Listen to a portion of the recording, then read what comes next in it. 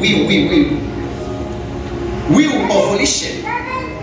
God has given us the will and has made us agents of the will. There is one thing that God does not and cannot control is a will. He has given you will and you can do whatever you want with the will. He can control anything outside your will. Which means God can create you as He has created you. Then He gives you choices. Through your will, you've got the ability to choose either to follow God or not to follow God. And He does not force you. That's so will is very good and it's very bad at the same time. It's good when you know how to direct your will to the systems of God. But when your will subjects you and directs you away from God, it becomes bad. So God gave us the will. The Bible says, I've set death and life before you, and I'm going to call the heavens and the earth so that they may become witnesses. Today, I want you to choose life.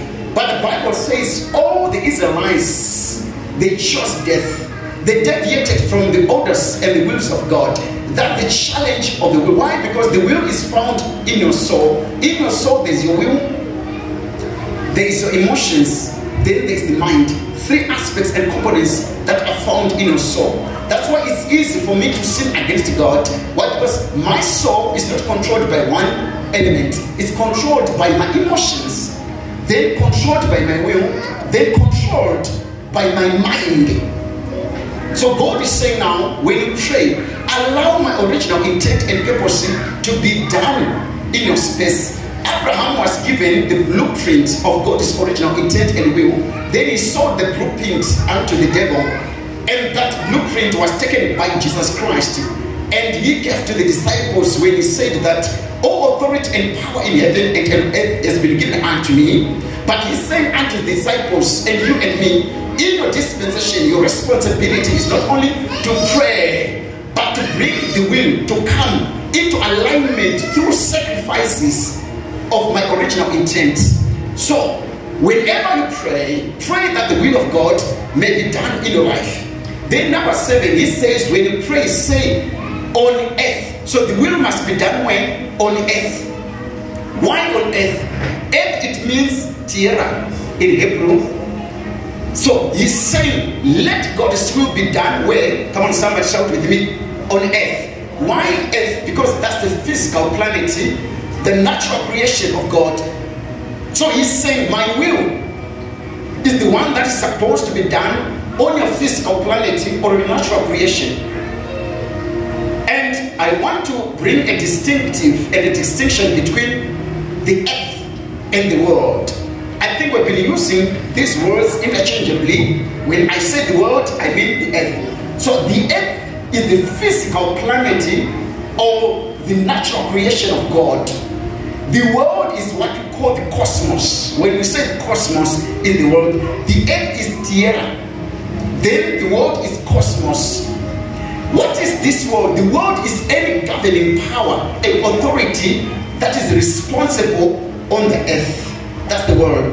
These are the systems controlling authorities, systems of influence. The, these are the worlds that we are talking about. So when God is saying, pray for my will to come to your earth, He's saying that let my glory become your culture. Come on, somebody shout culture.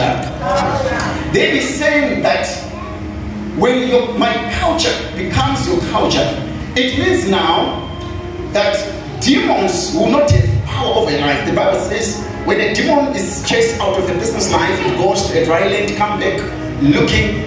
If the blessing is not garnished on the body, it goes back to that arid land, invite more demons. Your situation is worsened, which means if you were broke, you are going to be more broken. If you were defeated, you will be killed. Because the situation is worsened. But God is saying that if my word, my will, is subjected under the earth, which is your body, you find out that demons are not going to control your life.